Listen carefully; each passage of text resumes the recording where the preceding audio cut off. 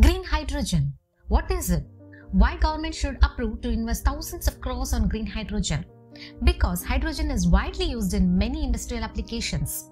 Electronics, metal, methanol, ammonia productions and food processing.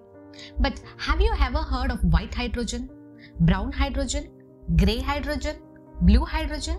Why there are so many colors of hydrogen? Confused? Don't worry. Let's understand it. Naturally occurring H2 is called white hydrogen. When we obtain the hydrogen from gasification of coal, it's called black hydrogen. If it is from fossil fuels and releasing byproduct CO2, we call it grey. If we store CO2 instead of releasing, we call it blue.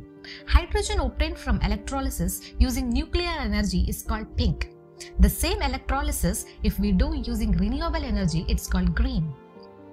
Unfortunately, 99% of the current hydrogen production is either grey or blue type. For every 1 kg of hydrogen, we end up producing 9.3 kg of carbon dioxide, which means we produce more than 830 million tons of carbon dioxide per year, equivalent to the combined CO2 emission of the UK and France. No, that's too much carbon. It's not cool at all. That is why it is important to produce hydrogen in non-polluting way. And the best way we know is to obtain it through electrolysis. All we need is water and power supply to break this H2O.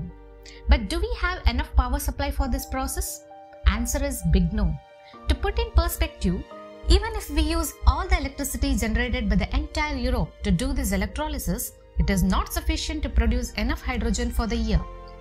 So we need to rely mostly on low-cost renewable energy, but the power supply and current infrastructure and technology is not sufficient. Hence, not only in India, many other big nations are investing heavily on research and development of green technologies. The green hydrogen is the fuel of future transportation. It can cut a big chunk of current CO2 emissions. The gasoline, the gas, the coal, and all other fuels will be gradually displaced by the hydrogen. From industrial to domestic use, the way forward is use of hydrogen as the main fuel.